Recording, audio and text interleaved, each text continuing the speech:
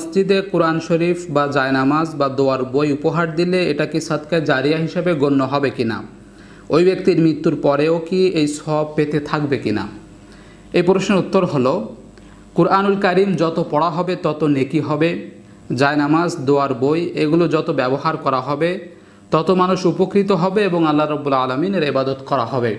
আর নিশ্চয় তাদের সব হবে। আর আপনি যেহেতু সেগুলো গিফট করেছেন, উপহার দিয়েছেন এজন্য যতদিন পর্যন্ত সেগুলো ব্যবহৃত হবে, ততদিন পর্যন্ত আপনি সৎকা জারিয়ার সব পেতে থাকবেন। আপনার মৃত্যুর পরেও যদি সেগুলো ব্যবহৃত হয়, তাহলে অবশ্যই সৎকা জারিয়া হিসেবে সেগুলো উপহার দেওয়ার কারণে আপনার আমল নামায় সব লেখা হবে।